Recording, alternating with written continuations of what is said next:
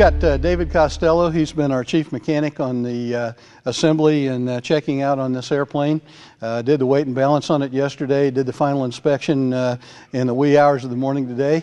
Uh, Rob Runyon is our test pilot. We just finished the first flight. He put 0.6 on the airplane. What? Four takeoffs and landings. Yep. Four takeoffs and landings. full stop. one go around. do you have any squawks? Nope. Airplane flew good right out of the box first time. Thank you, David. Uh, good job. And uh, we've had a lot of fun working on uh, these airplanes. This is the very first airplane to fly with the Lycoming 233 Light Sport engine and we're working with Lycoming and Champion Electronics to develop this engine and this electronic ignition system for the airplane. Uh, we'll be uh, flying this airplane in subsequent days, weeks, months, and whatever, reporting back to both Lycoming as well as Champion Electronics. Uh, first flight was very successful. Everybody here has big smiles on their faces. Uh, any unusual characteristics or any fun things you found about this airplane compared to the other one? Um, not so much compared to the other one, but uh, by myself today in the airplane. It was fun that uh, we could be in excess of 1,000 AGL by the end of the 4,000 foot runway. So we saw, I saw uh, accelerating through 80 knots and 1,500 feet a minute. So that was kind of fun. Nothing wrong with that. Uh, I almost got on the Unicom and asked you to air taxi back to the ramp. Right. Yeah. uh, yeah, it, uh, it performed quite well today. I suspect that even on a hot summer day, it's going to perform quite well. Uh, how long did it take you in seconds, and how many feet do you think to get airborne? Oh, I would guess uh, 500 feet, between 500 and 600. And on the timing, just about the time the throttle's all the way in, it's ready to rotate and go. So probably mm, certainly under 10 seconds, maybe okay. six, seven seconds. Okay. Uh, in cruise, I know you didn't have much time for that, right. but uh, in the pattern altitude, uh, mm-hmm. uh, what what RPM and what velocity? Uh, we saw about 2,400 RPM. I think it's a, doesn't wind up quite like the 235 one. It might be a propeller difference, but uh, it'll go right up past 110 knots and keep accelerating. I think it'd go right to the 120 knot limit for sure. So in the traffic pattern, as soon as you level off, in contrast to the traditional Cessnas and things, you have to get right out of the power almost more like uh, a high performance, like a jet airplane to be. You level off and get right out of the power, else the speed's going to wind right up on you. So to keep it anywhere near flap range, you have to come right on back to about 2,000 RPM right away because it'll go right up to 120. Okay. What was your ground speed when you were going downwind? I don't know. I didn't. The GPS was dimmed. I couldn't see it. I see. okay. Pretty good, uh, probably, with the were, 25, 30 knot wind. you, were, yeah. you were doing you were really good going downwind. oh, yeah. It was, it was looking good. I, and uh, what, what speed did you touch down and what flap setting? Uh, most of them I was using 40 flaps because I was purposely staying high. And so, and then Doc had mentioned not so much on idle power. So try to leave a little power in, in the flaps. And so about 70 knots down final because it's gusty. If it was calm, I'd probably use 60 knots. And at touchdown, I'm guessing is probably in the 55 knot range. I wasn't.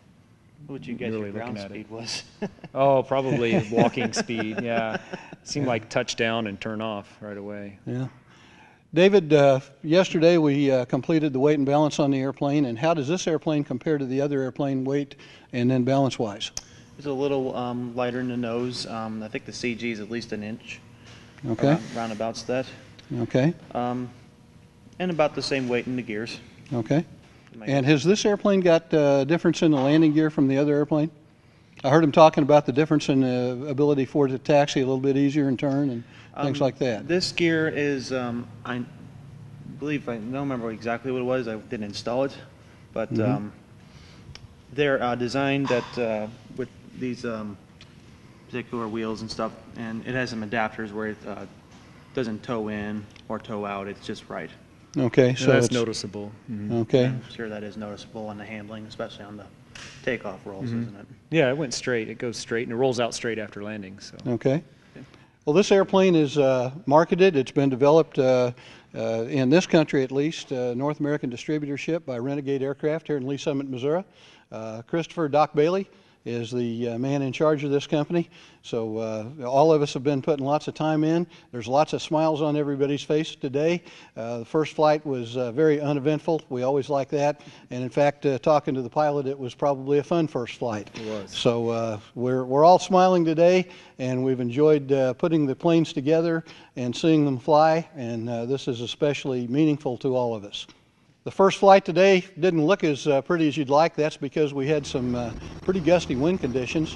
What were the wind conditions today? Uh, 020 at uh, 15, gusting to 23 at takeoff. I think it feels stronger now. It's probably gusting to 25. We're using I using think they were higher than that by the time you were ready. yeah, I, I think there was probably stronger gusts than that. So uh, I, it looked like Rob had his hands full.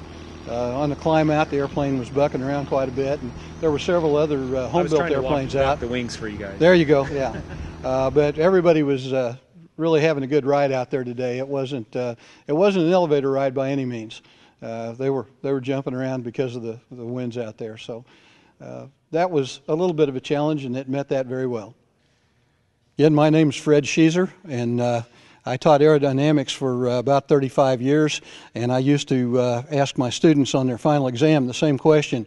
Everybody could answer that question that ever graduated from uh, my program, and that question is, what is it that really makes an airplane fly? And the answer is Money. money.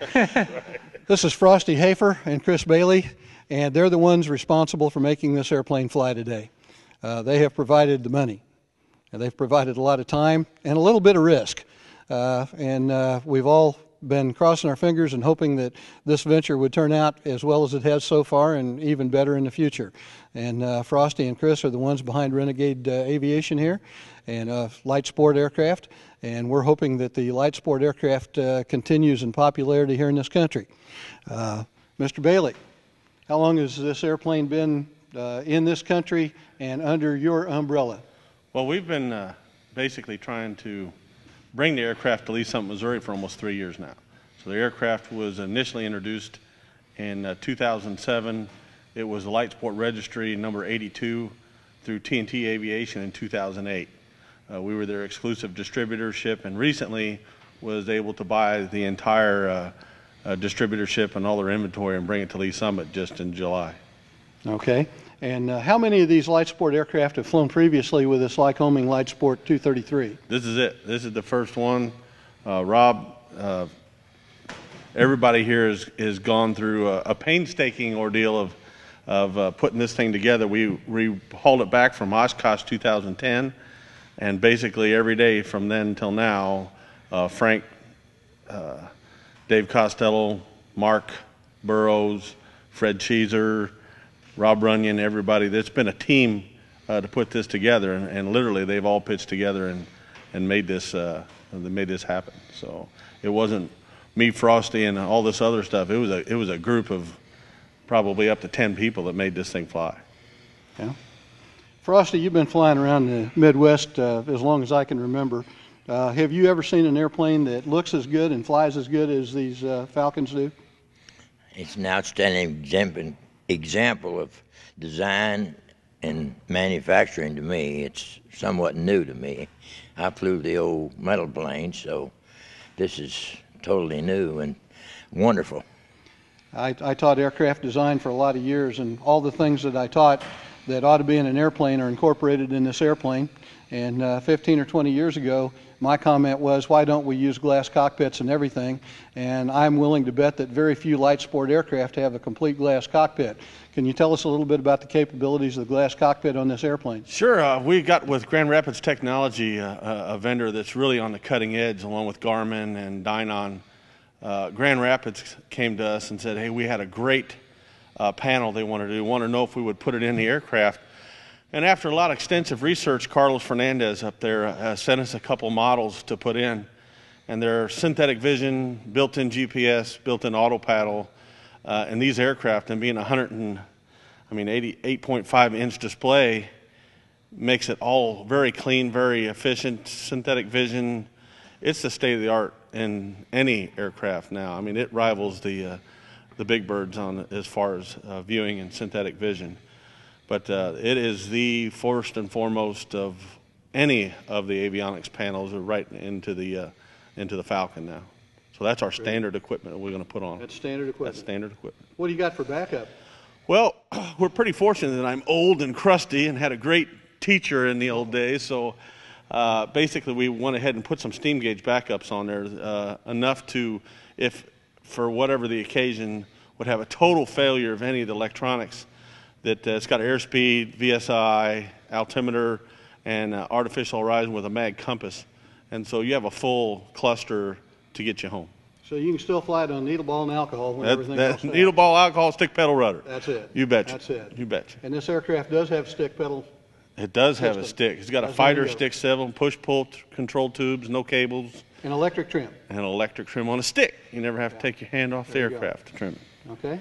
So it's it looks like an outstanding aircraft. We wish you well in the future. we appreciate it. Thank you very much. Mr. Bailey, what Yeah. can you tell us about the differences between the Lycoming 235 and the Lycoming 233 Light Sport? Well, I tell you, we, we're able to put both of them in because of the lightness of the aircraft. The whole aircraft itself, even with the uh, uh, 235 engine, doesn't weigh close to 800 pounds. So by having a 233 engine, uh, they've knocked out almost 40 pounds off the engine. It is now CDI. It is now dual CDI, a redundant system that basically uh, has electronic ignition. Uh, the fuel injected package will be out in November. Um, we now have the uh, carbureted version here to test, but they've cut a lot of the weight, a couple pounds out of the crank, a couple pounds off the flywheel, 40 pounds in any kind of engine to hold the same lightweight 116 horsepower. Uh, basically, we just have the same aircraft engine with all the latest and greatest uh, updates that's 38 pounds lighter and the same 116 horsepower. So the engine itself, whenever you're talking about light sport, we're always worried about weight. 1320 is the max you can take off, and anytime you can cut the weight down to get more of a useful load in light sport, that's what our clients are looking for. They're looking for useful load, they're looking for performance, and the best thing that I can tell you about the engine, it's Lycoming. It's not a Rotax, it's not a Jabiru, it's not a Volkswagen conversion.